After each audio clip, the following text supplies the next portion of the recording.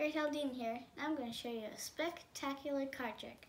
So I got a deck of cards, and they're all different, right?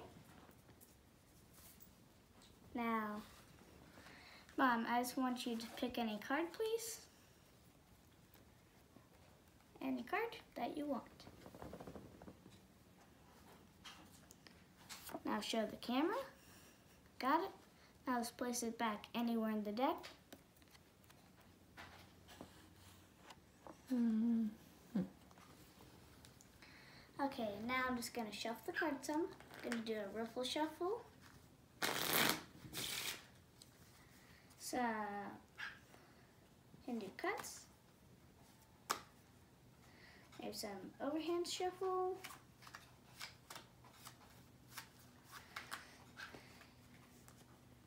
And maybe one more cut. Okay, now your card's not on the bottom, right? Nope. And it's not on the top, right? Nope. Okay, now think of your card. Okay. I pulled out one card. See what it is. Your card, the Queen of Diamonds. Cool.